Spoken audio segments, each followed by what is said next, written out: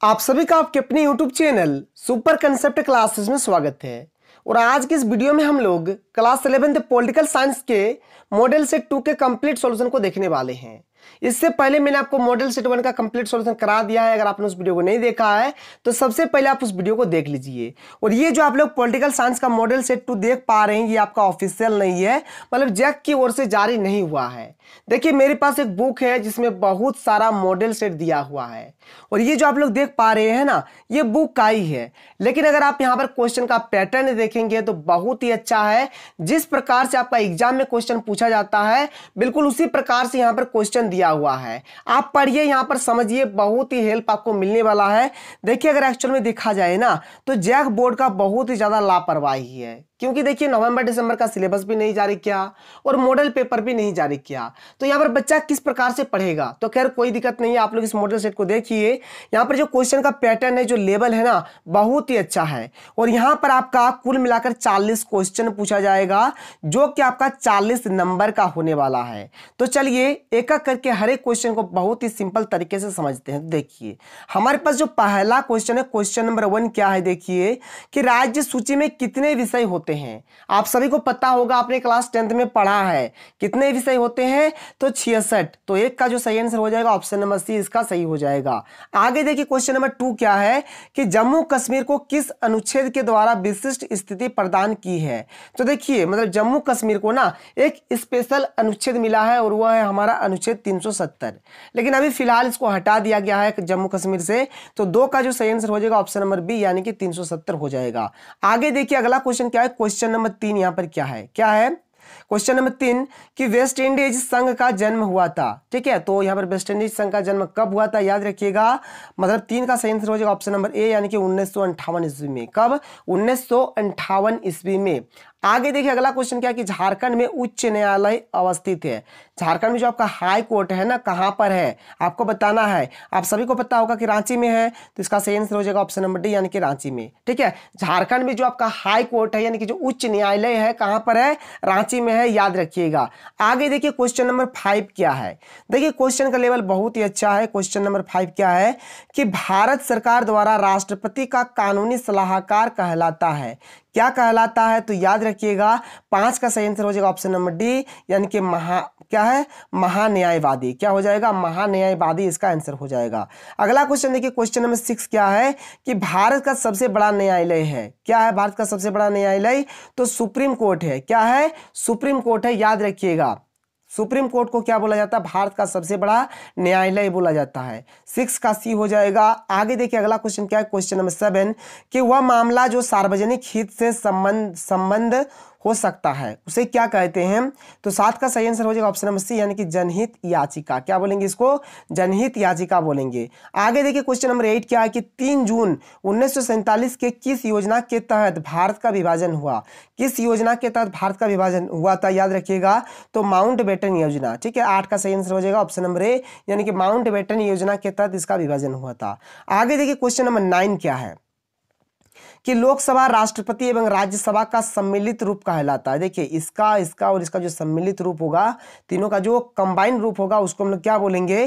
तो इसको हम लोग बोलते हैं संसद। तो नौ का जो सही आंसर हो जाएगा, क्या हो जाएगा? ऑप्शन नंबर डी हो जाएगा, यानी कि संसद।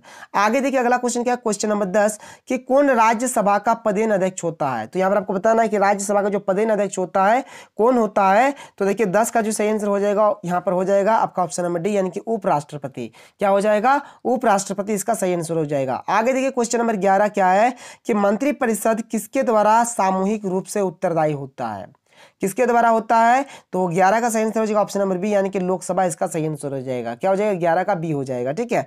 आगे देखिए, अगला क्वेश्चन क्या है? क्वेश्चन नंबर बारह, कि भारत में राष्ट्रपति का निर्वाचन किस प्रणाली से होता है? देखिए, जो राष्ट्रपति का जो चुनाव होता है, प्रधानमंत्री का नहीं, राष्ट्रपति का।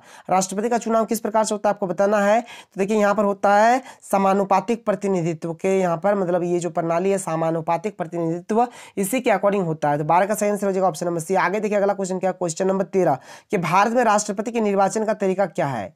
आपको बताना है।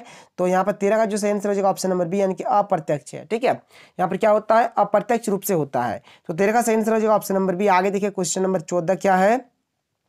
कि संसदीय शासन प्रणाली में कौन नाम मात्र का अध्यक्ष होता है? मतलब कोनो काम का नहीं, ठीक है? जो नाम मात्र का जो अध्यक्ष होता है तो यहाँ पर चौदह का जो सही आंसर हो जाएगा ऑप्शन नंबर बी हो जाएगा, राष्ट्रपति। क्या हो जाएगा? राष्ट्रपति इसका सही आंसर हो जाएगा। आगे देखिए, अगला क्वेश्चन क्या क्वेश्चन नंबर पंद्रह, की सर्वोच्च न्यायालय ने कब निर्देश जारी कर अपराधियों के चुनाव लड़ने पर रोक लगाई? ये बात कब हुआ था? तो याद रखिएगा, पंद्रह का जो सही आंसर हो जाएगा ऑप्शन नंबर डी यानी कि 2002 में। ये जो कानून लागू हुआ था, कब हुआ था?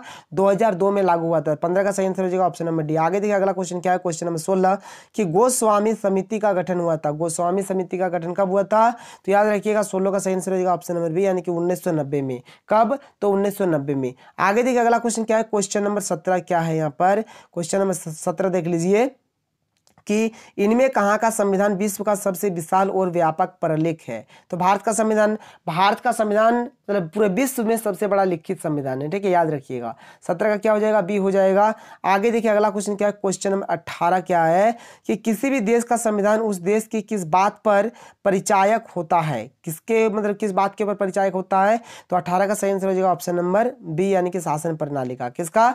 तो शासन प्रणाली अट्ठारह का बी सही यहाँ पर हो जाएगा। आगे देखिए क्वेश्चन नंबर उन्नीस क्या है कि सरकार द्वारा सत्ता के दुरुपयोग को कौन रोकता है? कौन रोकता है? पता होगा आपको शायद। तो उन्नीस का सही आंसर हो जाएगा ऑप्शन नंबर ए, यानी कि संविधान। संविधान में हर एक चीज़ लिखा गया है कि आपको किस प्रकार से काम करना है, क्या करना है, क्या नहीं करना है, हर एक चीज़।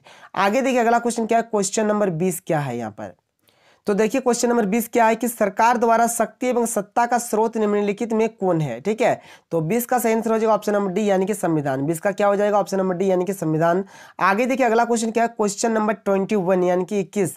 न्याय से तात्पर्य है तो न्याय का एक्चुअल में मतलब क्या होता है? तो इक्कीस का सही आंसर हो जाएगा ऑप्शन नंबर सी यानी कि सबको जोड़ना। मतलब सबको मतलब देखिए किसी को भी हमारे बेगानेपन का एहसास ना हो, जो दोषी है, उसको सजा देना, जो निर्दोष है, उसको बाइज्जत बरी करना, यही बात होता है ना? तो यहाँ पर ट्वेंटी वन का सही आंसर हो जाएगा ऑप्शन नंबर सी। आगे देखिए, अगला क्वेश्चन क्या क्वेश्चन नंबर ट्वेंटी टू यानी कि बाईस, कि समानता से तात्पर्य है। तो समानता से क्या हो जाएगा? समान दर्जा भी होगा, समान आय भी होगा, समान जीवन यापन भी होगा। सभी सही है, ठीक है? तो 22 का सही आंसर क्या हो जाएगा? 22 का डी हो जाएगा। क्लियर है? 22 का क्या हो जाएगा? डी हो जाएगा। आगे देखिए, अगला क्वेश्चन क्या है? क्वेश्चन नंबर तेईस क्या है? कि मुझे यूरोप के बाहर नए राज्यों की नई ब्रन व्यापारिक केंद्रों की आवश्यकता है यह कथन किसका है? तो ये जो कथन है, किसका है सर? तो तेईस का सही आंसर हो जाएगा ऑप्शन नंबर डी यानी कि बिस्मार्क का। तेईस का क्या हो जाएगा? डी हो जाएगा। बिस्मार्क इसका सही आंसर हो जाएगा। देखिए, एक बुक है जिसका नाम है पॉलिटिक्स तो पॉलिटिक्स के रचनाकार कौन है? आपको बताना है कि विश्व प्रसिद्ध पुस्तक पॉलिटिक्स के रचनाकार कौन है? तो किसने इस बुक को लिखा है?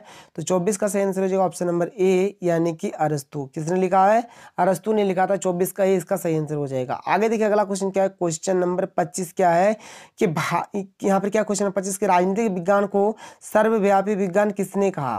किस व्यक्ति ने कहा है कि राजनीतिक विज्ञान सर्वव्यापी मतलब विज्ञान है? तो 25 का जो आपका सही आंसर हो जाएगा ऑप्शन नंबर सी हो जाएगा, यानी कि अरस्तु। ये भी बात किसने कहा है? अरस्तु अरस्तु ने कहा है। आगे देखिए अगला क्वेश्चन क्या क्वेश्चन नंबर 26 क्या है यहाँ पर? क्वेश्चन नंबर 26 से आपका कि राजनीति विज्ञान के अध्ययन का महत्व है। क्या है? तो यहाँ पर ये भी होगा मतलब नागरिक एवं उसके अधिकार कर्तव्यों का और लोकतंत्र की सफलता का महत्व होगा। मतलब यहाँ पर छब्बीस का सी आंसर हो जाएगा ऑप्शन नंबर सी यानी कि उपयुक्त दोनों, ठीक है? याद रखिएगा, छब्बीस का क्या हो जाएगा? ऑप्शन नंबर सी यानी कि उपयुक्त दोनों। आगे देखिए, अगला क्वेश्चन क्या है? क्वेश्चन नंबर सत्ताईस यहाँ पर क्या है? क्वेश्चन नंबर सत्ताईस है कि राजनीति विज्ञान का विषय क्षेत्र है। तो राजनीति विज्ञान का विषय क्षेत्र कैसा है? तो सत्ताईस का सही आंसर हो जाएगा ऑप्शन नंबर डी यानी कि सभी कथन सत्य मतलब ये भी होगा, ये भी होगा, ये भी होगा, यानी कि राज्य का अध्ययन सरकार का अध्ययन सामाजिक, आर्थिक पक्षों का उदाहरण। तो सब यहाँ पर हो जाएगा ट्वेंटी सेवन का क्या हो जाएगा आपका ऑप्शन नंबर? डी आपका सही हो जाएगा, यानी कि सभी कथन सत्य। आगे देखिए, अगला क्वेश्चन क्या है? क्वेश्चन नंबर ट्वेंटी एट यानी कि अट्ठाईस, ठीक है? इनमें से कौन राजनीतिक संगठन का उदाहरण है? तो राजनीतिक संगठन का आपको उदाहरण बताना कि कौन है?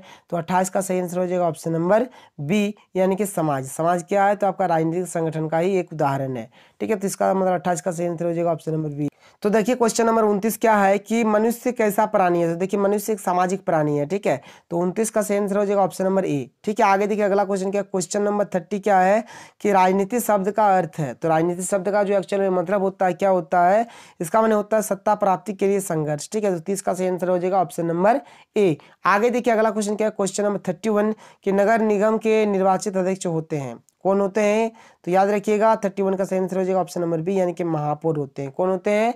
महापौर होते हैं। आगे देखिए, अगला क्वेश्चन क्या है? क्वेश्चन नंबर बत्तीस की भारत में कितने पंचायती राज्य की स्थापना की गई है? ठीक है? मतलब कितने स्तर वाला क्या गया है? तो बत्तीस का सही आंसर हो जाएगा ऑप्शन नंबर डी यानी कि त्रिस्तरीय। अभी त्रिस्तरीय तक किया गया है? फिर आगे और बढ़ाया जाए। तो देखिए क्वेश्चन नंबर तैंतीस क्या है कि न्यायपालिका का कार्य है? तो न्यायपालिका का क्या कार्य होता है? तो यहाँ पर तैंतीस का सही आपका आंसर हो जाएगा ऑप्शन नंबर सी यानी कि कानूनों का क्रियान्वयन, ठीक है? क्या हो जाएगा? कानूनों का क्रियान्वयन, इसका सही आंसर हो जाएगा। तैंतीस का क्या हो जाएगा? सी हो जाएगा। आगे देखिए, अगला क्वेश्चन क्वेश्चन नंबर चौंतीस क्या है? क्वेश्चन नंबर चौंतीस यहाँ पर बोल रहा है कि सर्वोच्च न्यायालय के न्यायाधीश कितने वर्षों तक अपने पद पर बने रहते हैं। तो कितने पद पर बने रह, कितने पद तक बने रहते हैं? तो चौंतीस का याद रखिएगा ऑप्शन नंबर बी यानी कि पैंसठ वर्ष तक यानी कि पैंसठ साल तक मतलब जज का जो पोस्ट है उसको मिलेगा फिर उसको रिटायर होना पड़ेगा ठीक है? तो यहाँ पर चौंतीस का सही आंसर क्या हो जाएगा? ऑप्शन नंबर बी हो जाएगा। आगे देखिए अगला क्वेश्चन क्या क्वेश्चन नंबर पैंतीस कि भारत की संसद को लोक रेखा समिति के अध्यक्ष का नाम कौन कौन निर्देशित करता है? तो कौन निर्देशित करता है? याद रखिएगा, पैंतीस का आपका सही आंसर हो जाएगा ऑप्शन नंबर डी, यानी कि लोकसभा का राज्य अध्यक्ष, ठीक है? ये कौन निरंतर रखता है? लोकसभा का अध्यक्ष, या ये आपका निरंतर रखता है? यहाँ तक तो हो गया। फिर आगे देखिए, क्वेश्चन नंबर थर्टी सिक्स क्या है कि मंत्रिमंडलीय शासन की विशेषता है? तो मंत्रिमंडल के शासन शासन की व्यवस्था जो है, आपको मैं बता देता हूँ मैं। तो इसका जो सही आंसर हो जाएगा, क्या हो जाएगा? छत्तीस का बी हो जाएगा। छत्तीस का बी, यानी कि छत्तीस का बी हो जाएगा, ठीक है? यानी एक्चुअल अगर कहा जाए यहाँ पर राजनीतिक सजातीयता सजातीयता इसका आंसर हो जाएगा, ठीक है? थर्टी सिक्स का क्या हो जाएगा? थर्टी सिक्स का आपका बी हो जाएगा। आगे देखिए अगला क्वेश्चन क्वेश्चन नंबर सैंतीस क्या है, ठीक है? क्वेश्चन नंबर सैंतीस देखिए क्या है कि उपराष्ट्रपति राज्यसभा का क्या होता है? आपको बताना है कि सदस्य होता है, सदस्य नहीं होता है पदेन सभापति होता है या फिर उपयुक्त में से कोई नहीं होता है। तो सैंतीस का सही आंसर हो जाएगा ऑप्शन नंबर बी यानी कि पदेन सभापति होता है। तो देखिए क्वेश्चन नंबर थर्टी एट क्या है कि दोनों सदनों की संयुक्त बैठक बुला सकता है। कौन बैठक बुला सकता है? तो थर्टी एट का सही आंसर हो जाएगा ऑप्शन नंबर ए यानी कि राष्ट्रपति। ठीक है क्वेश्चन नंबर थर्टी नाइन क्या है? देखिए, यहाँ पर देखिए यहाँ पर जो भी क्वेश्चन है ना बहुत ही अच्छे अच्छे क्वेश्चन यहाँ पर दिए हुए हैं। देखिए क्वेश्चन थर्टी नाइन क्या है कि धन विधेयक संसद में पेश करने से पहले किससे अनुमति लेना आवश्यक है? तो थर्टी नाइन का आपका जो सही आंसर हो जाएगा ऑप्शन नंबर सी यानी कि राष्ट्रपति से। क्या हो जाएगा? राष्ट्रपति से इसका सही आंसर हो जाएगा। राष्ट्रपति से अनुमति लेना मतलब आवश्यक है। आगे देखिए क्वेश्चन नंबर फोर्टी जो कि हमारा लास्ट क्वेश्चन है, क्या है यहाँ पर? क्वेश्चन नंबर फोर्टी है आपका कि जून उन्नीस सौ बानवे में पर्यावरण और विकास विषय पर अंतर्राष्ट्रीय सम्मेलन आयोजित किया गया। कहाँ पर हुआ था? तो रियो डी जेनेरो में हुआ था, ठीक है? तो फोर्टी का सही आंसर हो जाएगा ऑप्शन नंबर बी तो यहाँ पर मैंने आपको टोटल चालीस क्वेश्चन का आंसर बताया, शायद आपको वीडियो पसंद आया होगा। तो मिलते हैं अगले वीडियो में। थैंक यू जय हिंद